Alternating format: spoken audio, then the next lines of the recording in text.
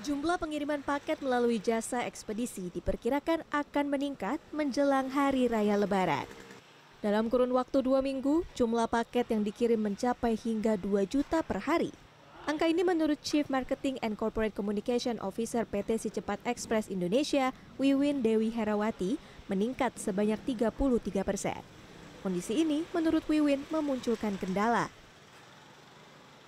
Sebetulnya uh, kendalanya adalah bagaimana kami mempersiapkan infrastruktur sebelumnya, di mana di 10 hari pertama kita memprediksikan itu selama satu bulan penuh adalah kenaikan 10 persen, sehingga pada saat kami uh, menerima paket, uh, sehing, uh, kami perlu melakukan uh, percepatan bagaimana eksekusi di lapangan itu sendiri, mulai dari pick up paket sampai dengan pengantaran sampai di tangan konsumen.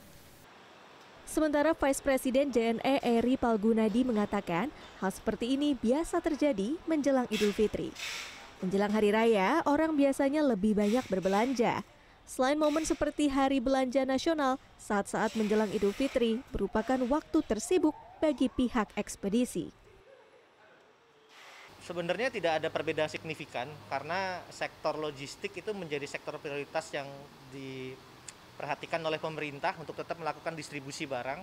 Uh, jadi saya pikir tidak ada mungkin yang berbeda sekarang akan banyak yang mudik. Jadi tentu kemacetan akan mulai terjadi lagi di jalur-jalur mudik. Tetapi tentu saja dari kami sudah ada antisipasinya yang akan kita lakukan uh, menjelang hari raya nanti sih sebenarnya. Pihak ekspedisi juga telah bekerja sama dengan maskapai udara dengan melakukan pemesanan manifest kargo di awal untuk mengantisipasi banyaknya barang yang harus dikirimkan. Irin Wardani, Nabil Haris, Jakarta.